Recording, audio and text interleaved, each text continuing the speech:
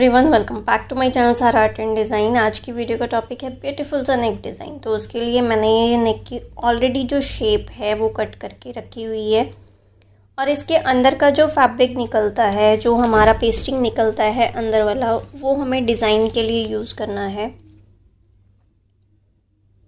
जो इसका centre point है, वहाँ तक पहले हमें इसको मार्क करना है और सेंटर पॉइंट से हमें इस तरीके से डिज़ाइन को एक्सटेंड करना है। और उसके बाद जो इसका गैप रखूँगी, वो रखूँगी मैं वन पॉइंट फाइव इंच के अराउंड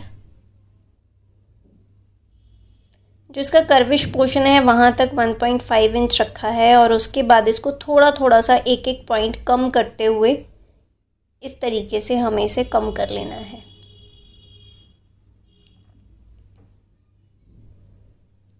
और ये कुछ इस तरीके का रेडी होगा। और इसमें एक चीज़ और ध्यान देने वाली है कि हमें इसको पेस्टिंग वाली साइड जो है वो ऊपर रहेगी, क्योंकि जो हमने नेक कट किया है, उसकी पेस्टिंग वाली साइड जो वो नीचे थी। बट जो डिज़ाइन बनेगा, अगर आप इस साइड को बना रहे हो तो इसकी पेस्टिंग वाली साइड जो है वो ऊपर रहेगी। और अगर दूसरी तरफ़ से आपको बनाना है, तब जो इसकी पेस्टिंग वाली साइड है, वो नीचे रहेगी। इस चीज़ का ज़रूर ध्यान रखिएगा, क्योंकि अगर पेस्टिंग वाली साइड जो है वो सेम डायरेक्शन में रहती है तो आपका डिज़ाइन जो है वो गड़बड़ हो सकता है।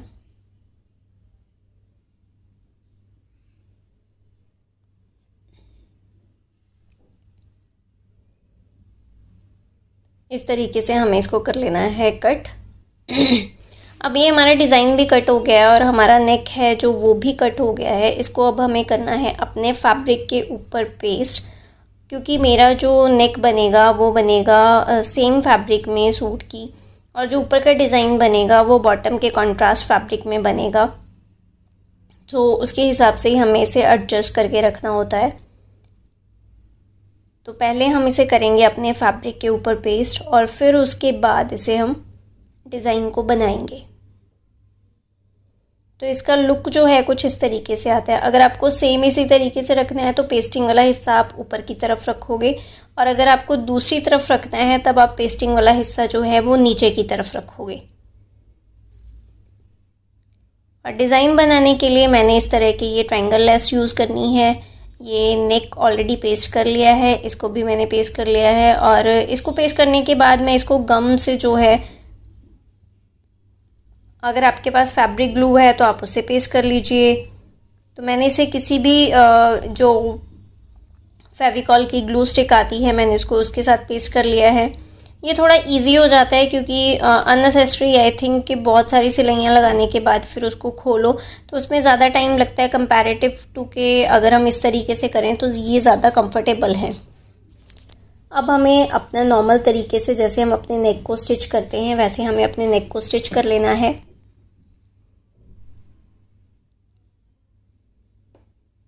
सेंटर की कच्ची सिलाई लगा देंगे और हम अपने नेक को एक बार बिठा लेंगे सेंटर में प्रॉपर और उसके बाद हम अपना नेक जो है वो स्टिच करना शुरू करेंगे।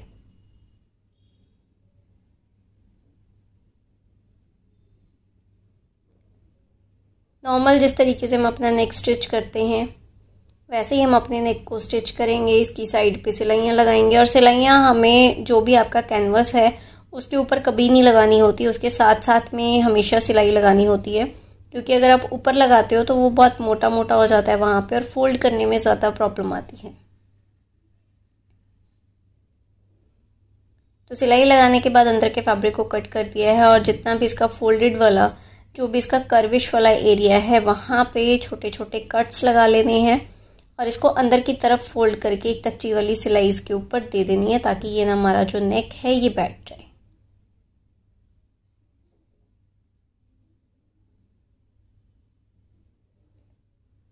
नॉट कंपल्सरी अगर आप बिगनर नहीं हो, तब आप इसको आयन करके भी अच्छे से सेट कर सकते हो।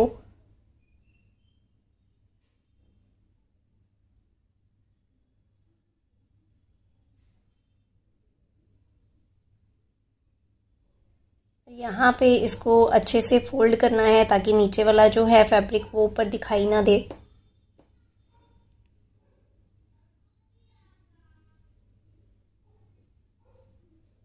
इसको ऐसे ही धीरे धीरे हमें कच्ची सिलाई लगा देनी है, क्योंकि बाद में ये तुरपाई होगा। और जब ये हेम होता है, तब ये दिक्कत नहीं करता है और बहुत ही अच्छी फिनिशिंग में आता है। अब इसके ऊपर हमें अपने डिज़ाइन को प्लेस करना है बट उसको प्लेस करने से पहले इसकी साइड्स के ऊपर मैं यहाँ पे ट्रायंगल वाली छोटी लेस यूज़ कर रही हूँ, क्योंकि ये फोल्ड करने में भी बहुत ईजी रहती है। आप यहाँ पे कुछ भी अगर यूज़ करोगे तो कुछ इस तरीके की लेस यूज़ कीजिएगा, जो कि फोल्डिंग में इजी हो क्रोशिया लेस आप यूज़ कर सकते हो ट्रायंगल लेस यूज़ कर सकते हो, या फिर आप पाइपिंग यूज़ कर सकते हो कॉन्ट्रास्ट फैब्रिक की आप पाइपिंग लगा सकते हो यहाँ पर। तो पाइपिंग लगाना भी एक बहुत ही ईजी और परफेक्ट ऑप्शन है।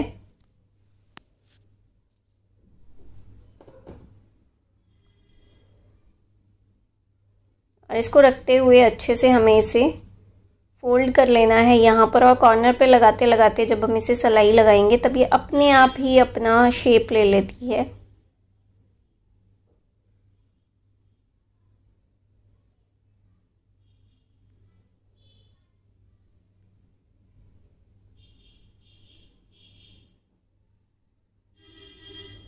और जो लोग मेरे चैनल पे पहली बार विज़िट कर रहे हैं, जो वीडियो को पहली बार देख रहे हैं, वो प्लीज़ चैनल को सब्सक्राइब ज़रूर कीजिएगा। और अगर वीडियो पसंद आती है तो लाइक ज़रूर कीजिएगा। अपने फैमिली मेंबर्स फ्रेंड्स, जिनको स्टिचिंग में इंटरेस्ट है, उनके साथ ज़रूर शेयर कीजिएगा। और साथ के साथ ही कमेंट करके मुझे बताइएगा कि आपको ये वीडियो जो है, वो कैसी लगी। और अगर आपकी कोई क्वेरीज़ हैं, तब आप मुझे मेरे कमेंट सेक्शन में पूछ सकते हैं। आप मुझे मेरे इंस्टाग्राम पे भी फॉलो कर सकते हैं। तो ये कुछ इस तरीके का हमारा डिज़ाइन जो है रेडी हो गया है। ये एक साइड पे है और जो इसकी ऑपोजिट साइड है, वहाँ पे भी हमें इस लैस को लगाना है। और अगर आप पाइपिंग के साथ लगाते हो, तब आपको यहाँ पे कंट्रास्ट कलर की पाइपिंग जो है वो यूज़ करनी है।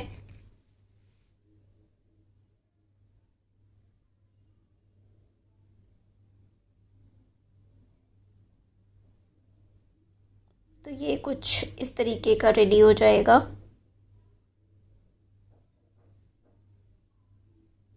अब ये हमारा जो रेडी हुआ है, यहाँ पे हम दूसरी साइड पे अपने नेक को पेस्ट कर देंगे, जो हमारा डिज़ाइन है उसको। ये देखिए, ये कुछ ऐसा आएगा, क्योंकि ऊपर से मैंने एक्स्ट्रा लिया हुआ था तो उसी हिसाब से ये आएगा। अब हमें इसे प्रॉपर तरीके से सेट करते हुए इसको सिलाई लगा के फिक्स करना है। ये देखिए सेंटर से हमारा सेंटर मैच हो गया है और जितना हमने एक्स्ट्रा बाहर की तरफ़ रखा था, उतना ही ये एक्स्ट्रा ये आ जाएगा। अगर आप बिगनर हो तो बार बार कह रही हूँ बिगनर हो तो यहाँ पे आप पेंस लगा के इसको सेट कर सकते हो या फिर यहाँ पे भी आप कच्ची सिलाई वगैरह लगा के इसको यूज़ कर सकते हो।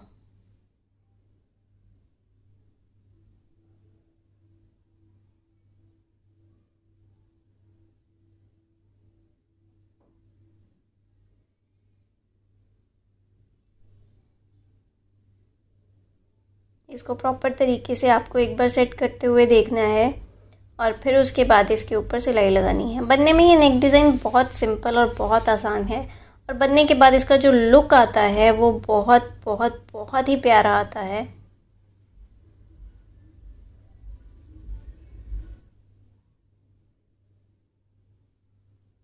और इसको बनाने में कोई ज़्यादा टाइम नहीं लगता है, बहुत ही इजीली ये बन जाता है।